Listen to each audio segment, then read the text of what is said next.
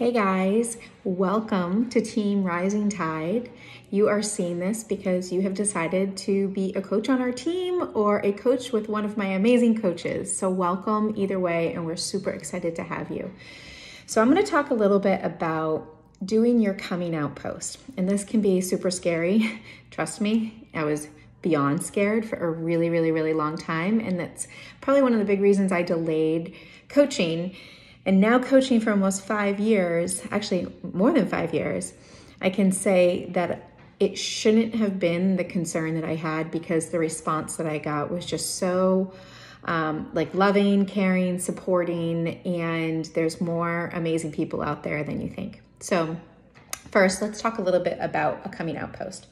The reason why it's really important to do a coming out post is because when you decide to be a coach, no one knows you're a coach. The only way they're going to know is by doing a post and sharing that so that they know they can come to you if they're looking for that support. When you do this coming out post, quite often we have a lot of like random do's and don'ts, things you might want to consider doing, and some things you really don't want to consider doing. Um, I did everything wrong, so take it from me what doesn't work and what does. Um, and some of those don'ts are things like don't use stockpile pictures, don't use like the picture of your Shakeology bag, or don't use your Shakeology cup in front of your face and say, join me. Like, no one cares about that. That doesn't that doesn't pull at people and make people like feel like they want that. They just look at it and say oh it's super salesy and like i'll just keep passing that passing the scroll you know? And you want to have people stop to actually read and be engaged with whatever the story is that you're sharing. You don't want to share ever about pricing in your posts don't. Um, it's just gimmicky, it's salesy, um, and it just turns people off. And those are the things that you'll have in conversations with people behind the scenes as you're getting to know what they need and how you can help them because there's a lot of different paths for what people might need. So pricing could be very different. Um, you don't want to worry in general um, you know, a lot of people when they first start, if you're a brand new coach and you're brand new to doing these programs, you might be really nervous to actually coach because you're not at your goal weight or you don't have these amazing before and after pictures, so you just don't know what to share. And the best coaches, I will say, are people that are starting from the get go and sharing their journey and being authentic and real because that's relatable. That's what you would want to be a part of your team, and that's what other people would want to go to because they know that they can go to you to get that support because you are just like them. They don't need picture perfect, they just want honesty and realness, if that makes sense. So, some of the do's are, you know, share some of the pictures that some people might use is if you do have a before and after picture, awesome. Those are really, really great. And I highly recommend you keep an ongoing journey of like every program you do because transformations of showing yourself are really important, not just other people all the time. Um, so if you have a transformation picture, awesome. If you don't, it could be a picture of you, it could be a picture of you and your family um, because maybe the reasoning why you are actually deciding to coach is to be able to reduce your um, work hours, to be a more present mom. Maybe it's because you don't have a financial source because you are a stay at home parent and you're looking for that financial stability for your family or to pay for your kids' ballet class or pay for your kids' football classes or whatever it might be. It could be a picture of you after like an amazing workout and just say, like, you can see it all over your face, the endorphins of you just being on cloud nine, and you want to be able to share with them why. So I always will say to people in general, you just you share publicly, but people want to know why you are coaching. Why did you make this decision? Um, and some of those things could be you were a tired, exhausted parent and you needed something for yourself to gain control over.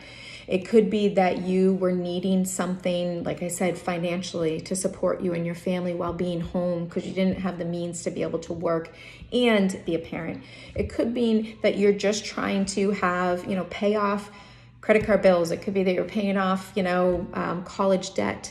It could be as simple as these programs have made you feel the best you've ever felt, and you've been a part of this community that has made you feel welcomed, loving, and a place that you want to just show up to every day.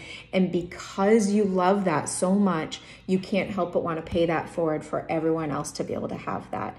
There's a lot of different reasons for why people decide the coach, and there's no right or wrong. And sometimes it's physical, sometimes it's mental, and sometimes it's financial. And none of them are wrong, and they will speak to people. There's a lot of those people out there and all those areas that are looking for it to be, uh, you know, looking for something like that.